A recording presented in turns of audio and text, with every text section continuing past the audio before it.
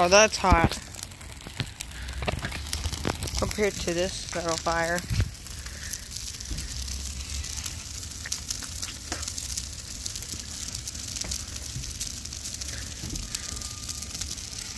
Little fire, big fire.